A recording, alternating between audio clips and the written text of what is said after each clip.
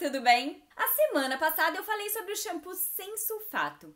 E aí surgiu a questão sobre produtos sem sal. Quantas pessoas você já ouviu falando que shampoo sem sal é melhor? Ou então, quantos novos shampoos sem sal você encontrou no supermercado ou na farmácia ultimamente? Pois é, eu imagino que muitos. Mas será que ele é realmente melhor? O que, que significa ser sem sal? Então, vem entender.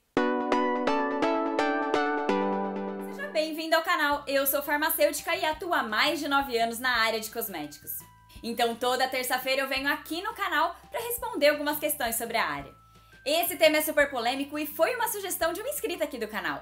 Então, se você tiver alguma sugestão de tema, é só escrever nos comentários que em breve pode virar um novo vídeo. Bom, então vamos começar pelo sal. Segundo a química, existem vários tipos de sais.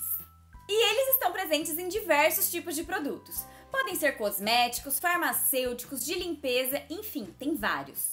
O que acontece é que quando a gente pensa em sal, a gente logo pensa no sal de cozinha que quimicamente a gente chama de cloreto de sódio ou a sigla NaCl.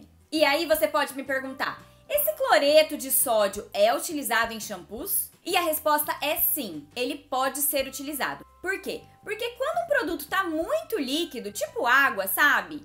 Os formuladores precisam colocar algum ingrediente para deixar ele mais espesso. Então, quando coloca o cloreto de sódio, ele fica mais consistente. Mas além do cloreto de sódio, tem outros sais que sempre estão em shampoos. Porque são sais que são responsáveis por fazer espuma e conseguir limpar o cabelo e o couro cabeludo. Então, se a gente pensa em um produto que limpa e faz espuma, ele tem que ter sal. Nesse vídeo aqui eu expliquei como que um shampoo limpa, mas fica tranquilo que eu vou deixar no final do vídeo para você ver depois. Mas se eu falei que todo shampoo precisa ter sal para fazer espuma ou limpar, como que tem tanto produto sem sal no mercado? Faz esse teste. Quando você vê um produto que está escrito sem sal, eu tenho certeza que ele vai ter um asterisco do lado. E aí é só virar a embalagem e ver o que esse asterisco significa. Como você pode ver, está escrito que não tem cloreto de sódio, ou seja, o sal de cozinha. Então, um shampoo sem sal, ou melhor, sem cloreto de sódio, é melhor? acontece é que o cloreto de sódio está muitas vezes associado à irritação e descamação do couro cabeludo.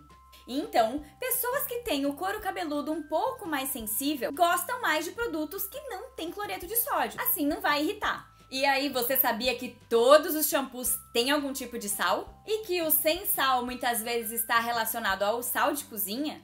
Se eu trouxe uma informação nova para você, clique em gostei. É assim que eu sinto quais vídeos vocês gostam mais para trazer mais conteúdo desse tipo aqui pro canal. E agora me fala uma coisa, você já usou algum produto sem sal? Sentiu alguma diferença? Então escreve aqui nos comentários para mim. Um abraço e até o próximo vídeo. Como eu falei no meio do vídeo, esse aqui é o vídeo que eu explico como que um shampoo consegue limpar o cabelo e o couro cabeludo. E esse outro aqui, eu falei sobre o sulfato, que foi o vídeo da semana passada.